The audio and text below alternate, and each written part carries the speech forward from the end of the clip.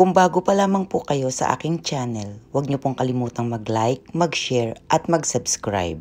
Pakihit na rin po ang notification bell upang updated kayo sa aking mga bagong video upload. Ipapakiusap ko din po sa inyo na sana ay suportahan niyo pa ang iba pa naming channel. Please like, share, and subscribe to Geo Japan Virtual Tour Channel, Halamang Gamot Channel, at ang pinakabago ay ang Chiba ASMR Ambient Sounds. Isang magandang araw po muli at welcome sa Gio at Gwen Lock and Body Channel.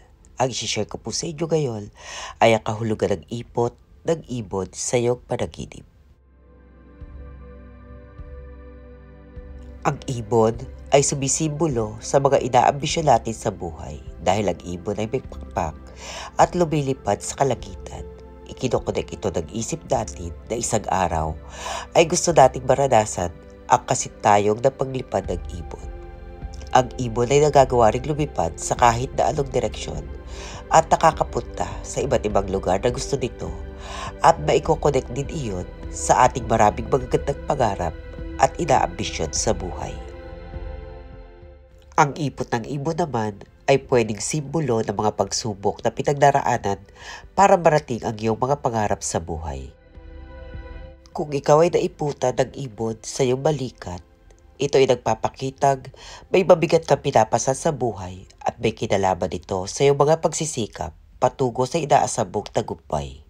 Pwedeng sabihin malapit ka na sa anumang pinagsisikapan mong marating pero habang papalapit ka ay nararamdaman mo na ang bigat kaya tila lalo namang nagiging mailap sa iyo at tagumpay tulad din ng ibon na mailap at hindi madaling hulihin.